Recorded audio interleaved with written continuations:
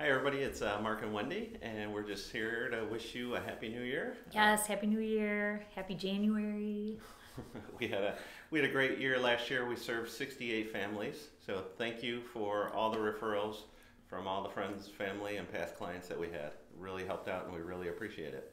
Yeah, and uh, this year we've upped our goals, so any help that you can give us is greatly appreciated. Every year, uh, you're probably reaching, you're getting actually a call from Mark and I, and we're just asking you if you would like a free current market analysis. Whether you're looking to move or not, most people's home is their largest asset, and it's just really nice just to keep a pulse on it.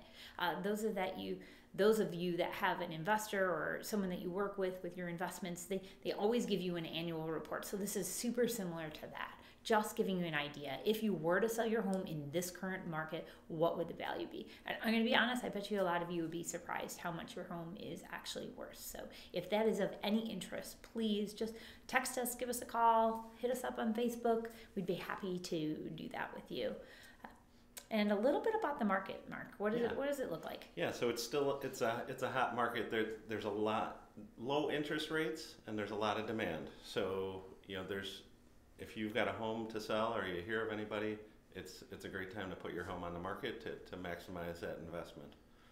And if you're a buyer, we have great strategies to win with our buyers. So we'd love to kind of talk to you and see, you know, where we we where we have been having success with our buyers and our sellers. So with that being said, uh, the market though is super hyper local. So if you have any questions, never feel. Uh, don't feel bad. Reach out to us. We'd be happy to talk about it. Yeah, and a lot of people wait until the spring to list their home in the past, but not anymore.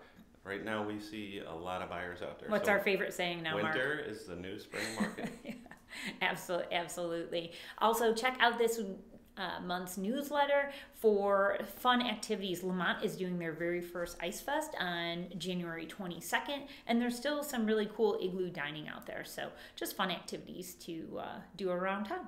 Take care, everyone. Happy Hope to talk Year. to you. Bye. Happy New Year.